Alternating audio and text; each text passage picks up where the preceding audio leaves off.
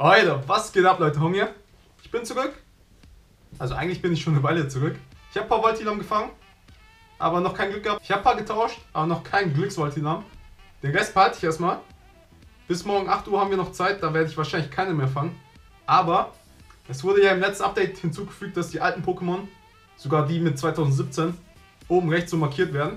Könnte vielleicht ein Hinweis sein, dass sie die Anforderungen für Lucky Pokémon irgendwie lockern und dadurch dann nicht mehr August und Juli 2016 nur noch garantiert Lucky sind, sondern keine Ahnung, auch 2017 da dann mit inbegriffen wird oder so.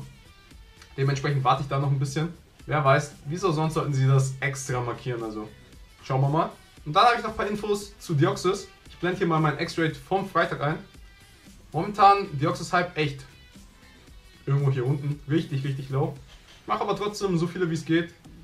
Ich schaue mal kurz nach, wie viele ich gemacht habe schon. Ich habe bisher 12 Deoxys gemacht. Minimum einen die Woche. Und ihr seht ja, der hat vier Typen. Dementsprechend versuche ich da eigentlich immer so viele Bonbons wie möglich mitzunehmen.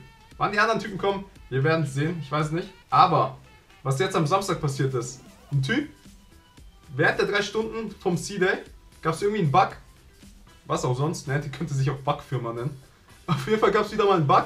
Und für kurze Zeit, wirklich kurze Zeit, hat er Deoxys tauschen können. Er hat sich einen Deoxys rüber getauscht, ich auch nochmal ein. Und das ist sogar Lucky geworden.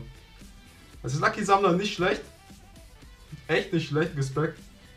Denke mal, das wird irgendwann noch kommen, dass wir Deoxys tauschen können. Aber, ja, klasse Sache. Und dann gibt es noch eine Sache. Zwar hat Niantic die Belohnung, nee, nicht Belohnung, Entschädigung. Die Entschädigungen verbessert, falls ein X-Ray ausfällt. Da gab es früher, ich will nichts Falsches sagen, auf jeden Fall ein Pass, ein Premium-Pass und ich glaube ein bisschen Staub. Und das wurde jetzt vor kurzem geändert. Jetzt gibt's 50.000 Staub und 5 Premium-Pässe.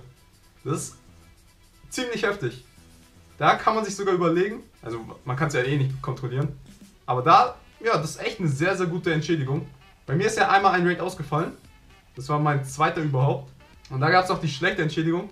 Da war ich schon sehr traurig. Aber mit dieser Entschädigung, das hätte meine Leine auf jeden Fall gemindert. Aber das kann man eh nicht kontrollieren. Ansonsten könnte man krass Pässe und Staub farmen. Aber das war's auch schon wieder von mir. Schreibt unten in die Kommentare, wie viele Deoxys X-Rays ihr schon gemacht habt. Habt ihr nächste Woche einen? Hattet ihr überhaupt schon mal einen?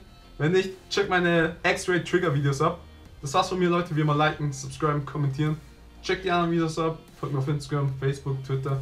Checkt den Shop ab. Vergesst nicht, Pokémon ist serious business.